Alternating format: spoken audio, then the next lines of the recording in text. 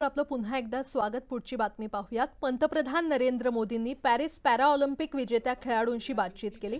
पॅराऑलिम्पिकमध्ये उत्कृष्ट कामगिरी करणाऱ्या या खेळाडूंशी मोदींनी बातचीत केली आहे. जितने और कोचेज हैं यूके यूएसए जो हम लोग के अच्छे फ्रेंड्स हैं कोरिया वो सब लोग आए बोले we knew you were going up ahead but we didn't realise it's gonna be so soon so we felt very proud. And thank you to the entire team that is backing us up. Thank you so much, sir. बहुत बहुत बधाई। मैं संदीप चौधरी जी के लिए बात कहूँगा।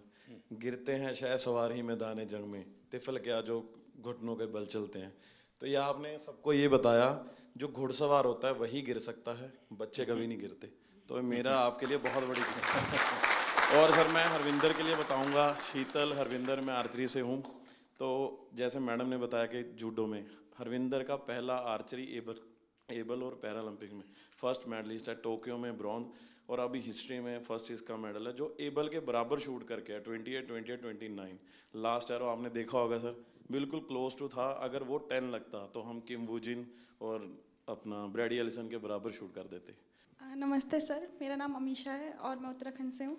ये मेरा पहला पैरालंपिक था और मुझे, मैं बहुत ग्रेटफुल हूँ कि मुझे दो साल में मैंने अपना गेम स्टार्ट किया है, दो साल ही हुए और दो साल में मैंने लाइफ में इतना बड़ा एक्सपीरियंस लिया, मुझे बहुत ज़्यादा कुछ सीखने को मिला। And thank you to my coach जिन्होंने मुझे कॉन्फिडेंस दिया कि मैं कर सकती हूँ, क्योंकि मैं बहुत डरी हुई थी।